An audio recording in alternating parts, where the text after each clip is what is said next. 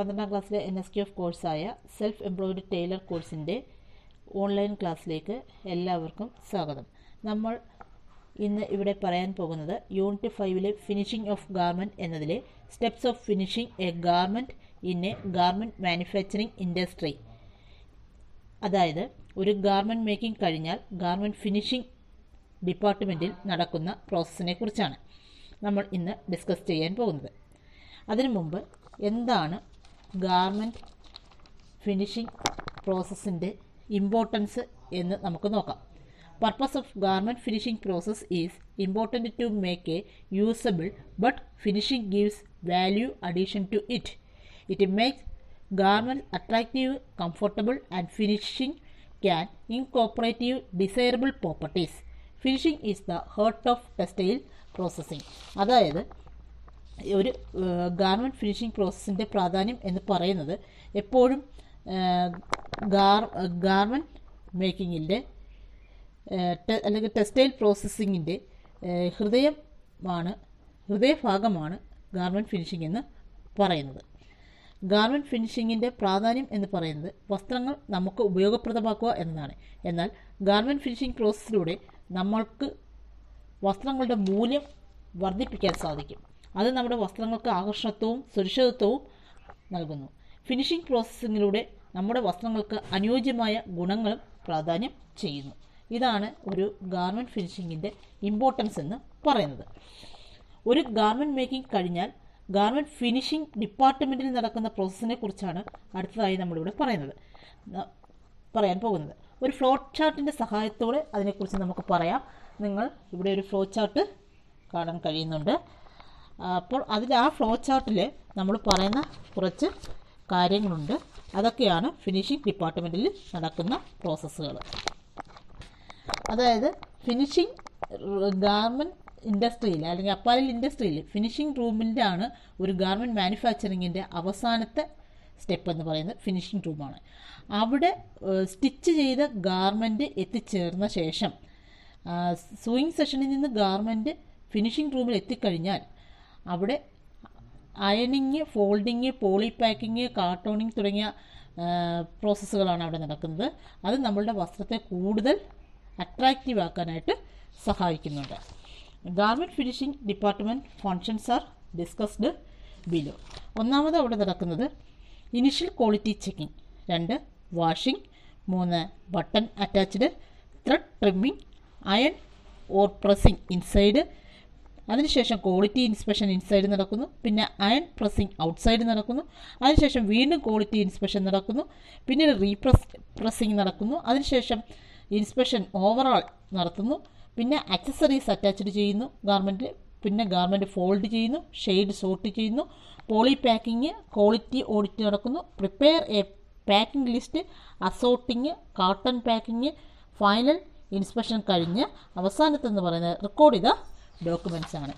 ഇങ്ങനെ ഒരു ഇരുപത്തൊന്ന് കാര്യങ്ങളാണ് ഫിനിഷിംഗ് ഡിപ്പാർട്ട്മെന്റിൽ നടക്കുന്നത്.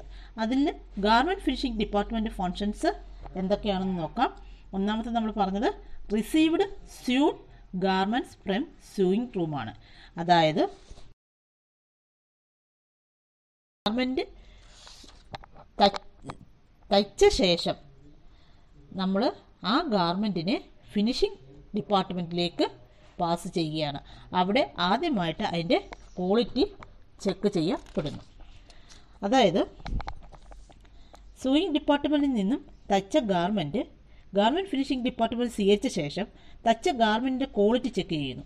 ഏതെങ്കിലും തരത്തിലുള്ള റിപ്പയർ വാഷിംഗ് തുടങ്ങിയ ഡിഫക്ട്സ് ഗാർമെന്റിന് ആവശ്യമായി വരികയാണെങ്കിൽ ഫിനിഷിംഗ് സെഷനിൽ ആ ഡിഫക്ട്സ് പരിഹരിക്കും.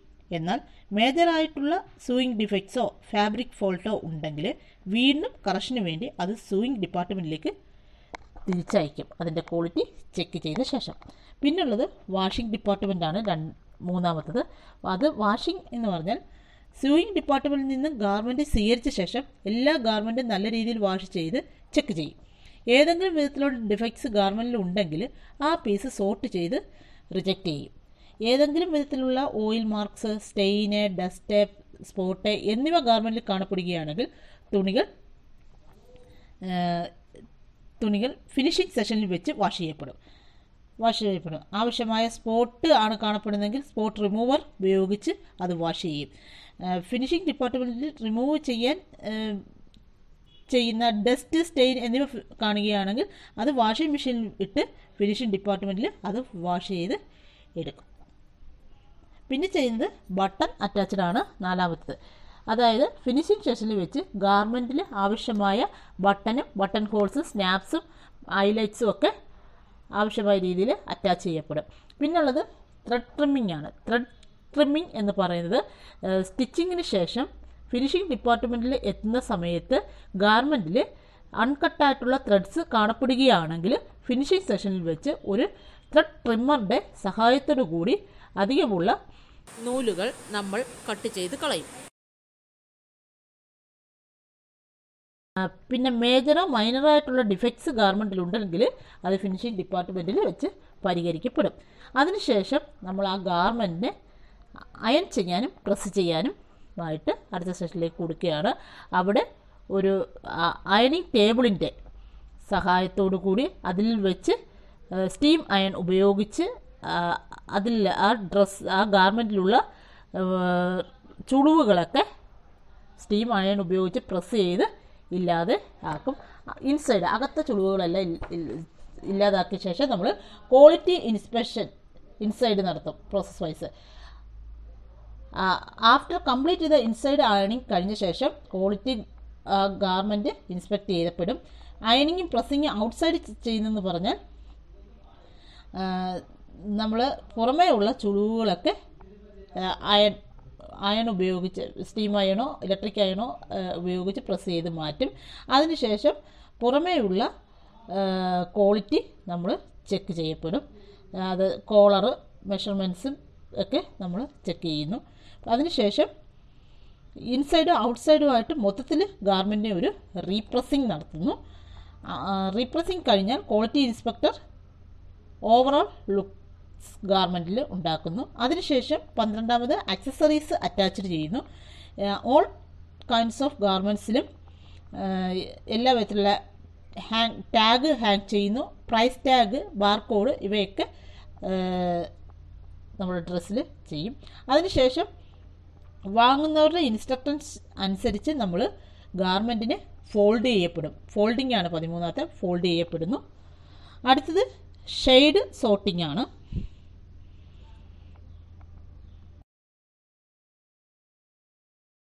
ക്വാളിറ്റി ഇൻസ്പെക്ടർ ചെക്ക് ചെയ്ത ശേഷം കളർ ഷെയ്ഡിന്റെ അടിസ്ഥാനത്തിൽ ഗാർമെന്റിന് സോർട്ട് ചെയ്യപ്പെടുന്നു.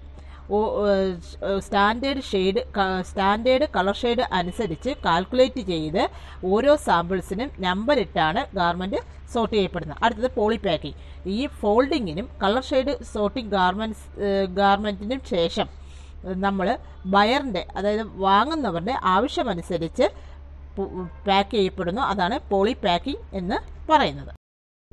Prepare a packing list in this stage finishing in charge prepare packing list for cartoning and garment shipment also after preparing packing list finishing department inform it with the apparel merchandise ഇവിടെ finishing സെഷനിൽ garment carton cartoning ചെയ്ത് ഷിപ്മെന്റിൽ അയച്ചു കഴിഞ്ഞ ശേഷം prepare packing ലിസ്റ്റിനെ കുറിച്ച് finishing department apparel മെർച്ചൻഡൈസറുകാർക്ക് ഒരു inform കൊടുക്കാറ് ഉണ്ട്.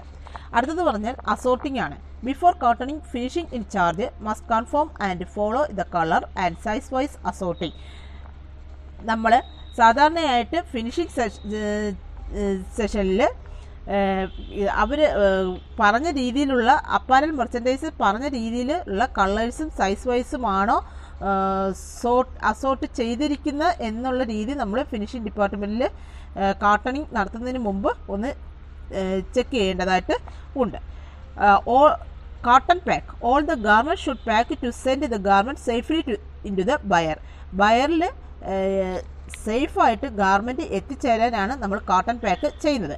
ഫൈനൽ ഇൻസ്പെക്ഷൻ എന്ന് പറഞ്ഞാൽ ഈ ഗാർമെന്റ് ഫിനിഷിംഗ് ഡിപ്പാർട്ട്മെന്റിൽ നടന്ന പ്രോസസ്സുകൾ എല്ലാം തന്നെ അപ്പാരൽ മാനുഫാക്ചേഴ്സിന്റെ കച്ചവടക്കാരുടെ കയ്യിൽ എത്തുന്നതിന് മുമ്പ് തന്നെ എല്ലാം നമ്മൾ ഇൻസ്പെ ഗാർമെന്റിന് ഫൈനൽ ഇൻസ്പെക്ഷൻ നടത്തിയാണ് കയറ്റി വിടിക്ക വിടാറുള്ളത്. ഫാക്ടറിയിലെ top management merchandiser production manager quality controller finishing inspector and buyers representatives are to do this final inspection ഇവരെല്ലാം ചേർന്ന് ഫൈനൽ ഇൻസ്പെക്ഷൻ നടത്തിയ ശേഷമാണ് ഒരു ഗാർമെന്റ് നമ്മൾ പാക്ക് ചെയ്യാറുള്ളത്. അതിനുശേഷം അവസാനത്തെ സ്റ്റെപ്പാണ് റെക്കോർഡ് ചെയ്ത documents all detailed documents about production to shipment must be recorded or file up in the official desk നമ്മൾ പ്രൊഡക്ഷനെ കുറിച്ച് പ്രൊഡക്ഷൻ ചെയ്ത് ഷിപ്മെന്റിലാക്കിയത് വരെയുള്ള എല്ലാ റെക്കോർഡ്സും നമ്മളത് ഡോ ഡോക്യുമെന്റായിട്ട് സൂക്ഷിച്ചു വെക്കും ഒന്നുകിൽ ഫയലിലോ അല്ലെങ്കിൽ ഒഫീഷ്യൽ ഡെസ്ക് ലാപ്ടോപ്പിലോ ഒക്കെ അത് റെക്കോർഡ് ചെയ്ത് സൂക്ഷിക്കാറുണ്ട്. Okay thank you